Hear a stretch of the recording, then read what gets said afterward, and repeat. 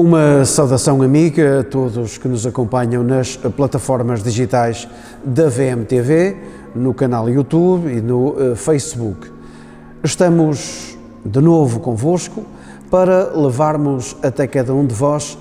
as celebrações mais evocativas naquele que é um dos maiores espaços de Portugal em termos religiosos e, se não, o maior espaço religioso da nossa Diocese de Braga, dado que, a nível nacional, a nível religioso, é o segundo santuário mais visitado. Estamos a falar, claro, já adivinharam, de São Bento da Porta Aberta. São Bento da Porta Aberta que, neste mês de março, celebra, assinala a primeira das três grandes romarias. Celebramos no próximo dia 21, uma terça-feira, o trânsito de São Bento, a morte de São Bento. Depois, no dia 11 de julho, celebramos o dia litúrgico de São Bento. E depois, mais lá para a frente, em agosto, de 13 a 15 de agosto, a grande romaria, a São Bento da Porta Aberta.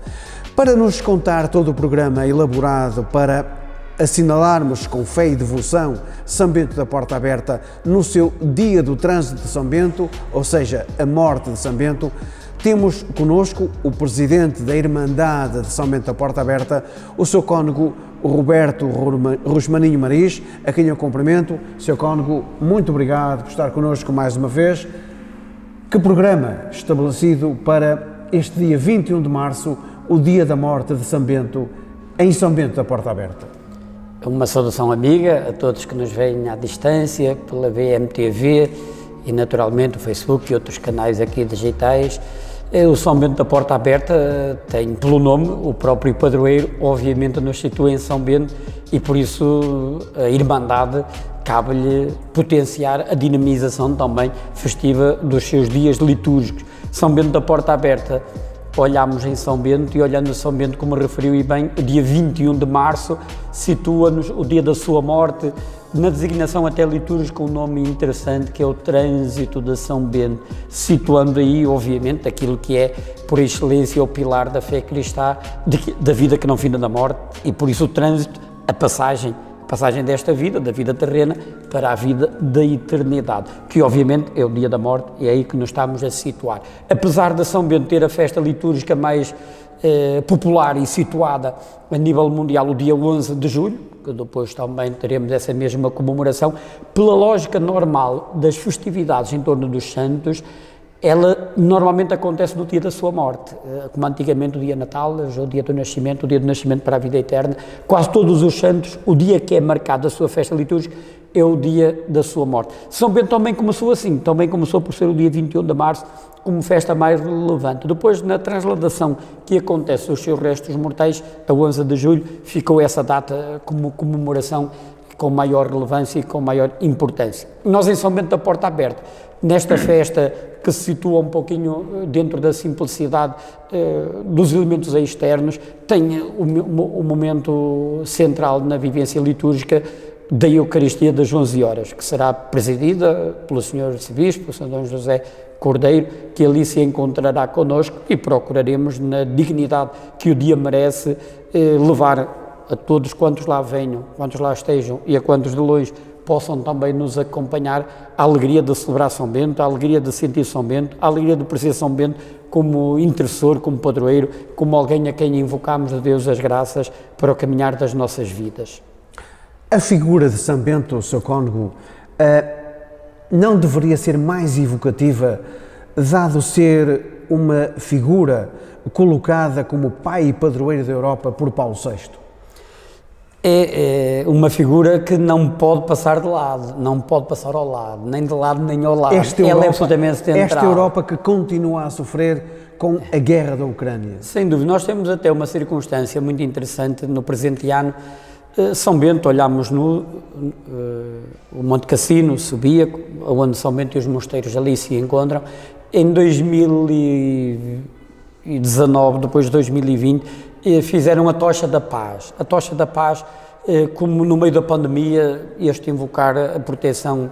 de Deus, por intermédio de São Bento, circulando na Europa para que nos pudesse também ajudar a ultrapassar essa fase difícil. O presente ano, Tocha da Paz, em 2023, precisamente neste mês de março, essa mesma tocha circula aqui na Europa e ao circular em Portugal, cruzando Fátima e, e situando-se ali com os, os monges em Cisberga, uhum. que a celebração ocorrendo a 6 de março, uma segunda-feira a 6 de março, ainda na interpelação da Irmandade para que fosse possível circular por São Bento da Porta Aberta, o mesmo não se mostrou possível pelo itinerário e calendário que já tinha, mas tiveram a amabilidade de nos deixar uma tocha no dia 6 de março, para que no dia 21 de março possamos também ter no santuário de São Bento da Porta Aberta, olhando precisamente essa tocha, essa chama, essa luz que é São Bento, pelos valores fundantes e fundacionais desta Europa em torno da evangelização, em torno do Evangelho, que importa reavivar. E quando falamos da nova evangelização, olhamos para modelos que deram os seus frutos no seu tempo, no passado, e continuarão a dar no presente e continuarão a dar também para o futuro, e a dimensão da paz, a chama da paz, com esta guerra na Ucrânia, com tantos conflitos que por aí ocorrem e onde não vemos o fim a poder ocorrer, a destruição e a dor e a morte, o sofrimento, como fazem uma marca também dos nossos tempos, que por São Bento, ele que coloca para os seus mosteiros a paz como um elemento central para aqueles que lá se encontram na comunhão da família, em torno da abertura a Deus, da meditação da palavra do Senhor e no trabalho. A vivência da paz é fundamental. Quem não for para estar em paz não tem lugar no mosteiro. O mosteiro é para construir paz. Que nós, nesta casa comum, a partir do simbolismo deste ano, deste ano da tocha da paz de São Bento, que vem de São Bento, do Monte Cassino possa também aqui ser um fermento para as celebrações eh, do corrente ano. A figura de São Bento Socónigo leva-nos também a meditar e pensar no desafio que São Bento tomou para a sua vida, ou seja, enviado para os estudos, para subir mais alto em termos de carreira, não gostou do que viu, viu uma igreja totalmente abandonada e mal gerida e refugiou-se. Refugiou-se, tornou-se ermita, mesmo assim, em, uh, Subiaco. em Subiaco. Uh, não estará a igreja, nesta altura, que vive uns momentos tão conturbados, seguir esse exemplo de São Bento, cada um dos cristãos refugiar-se e meditar-se e ver o caminho que esta Igreja está a tomar. A Igreja que atualmente vive momentos de desacreditação, não será um desafio para nós os cristãos seguirmos agora, em 2023, aquele momento de São Bento. É hora de nos retirarmos e pensarmos nesta Igreja e reerguê-la como ela merece. A Igreja que há 2023 anos Jesus Cristo nos deixou. O caminhar eclesial, obviamente, que deve ser sempre de refundação, sempre de purificação e sempre de peregrinação. Os tempos que ocorrem pelas realidades que conhecemos, obviamente, não são favoráveis, são adversas e importa olhá-las com, com franqueza, com frontalidade, com transparência, olhar e perceber o enquadramento para que possamos com verdade, com objetividade e com empenho, sermos capazes de construir um caminho eclesial sadio, saudável, aonde naquilo que é a verdade e a bondade do Evangelho possam ser eh, transparentes na vida dos seus, possam ser o rosto interpelador para os outros e possa aí ser acolhedor para todos aqueles que nos rodeiam e para aqueles que se cruzam connosco. São Bento, quando faz o situar do desagrado, mais do que da vivência eclesial, era da própria vivência da sociedade, do seu tempo que não o preenchia por dentro, naquilo que era a plenitude da felicidade, peregrinou, fez o seu caminho, eh, retirou-se,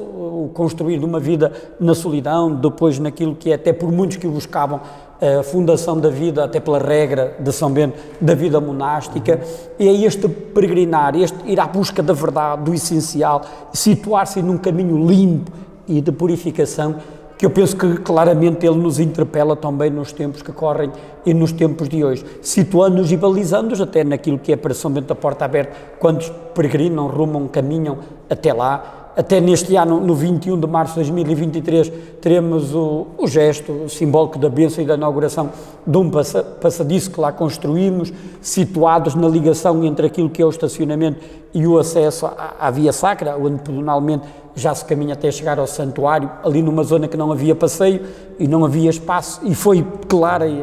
e precisamente, propositadamente, para ter ali um espaço para que os peregrinos pudessem um pouco mais à vontade caminhar sem se cruzar com os carros, que fizemos aquela construção, não sendo muito grande, consideramos que é útil na ligação entre o que já existia e aquilo que eram os estacionamentos e que neste dia 21 de março de 2023 também iremos proceder à sua bênção e à sua inauguração. E naquilo que é esse espaço, o peregrinar, o caminhar,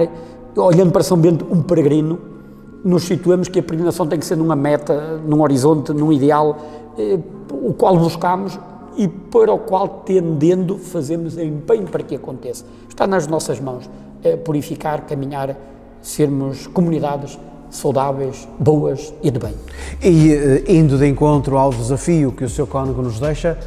e para terminarmos esta nossa breve conversa aqui na VMTV, um convite a todos aqueles que nos seguem para que sejamos muitos em São Bento da Porta Aberta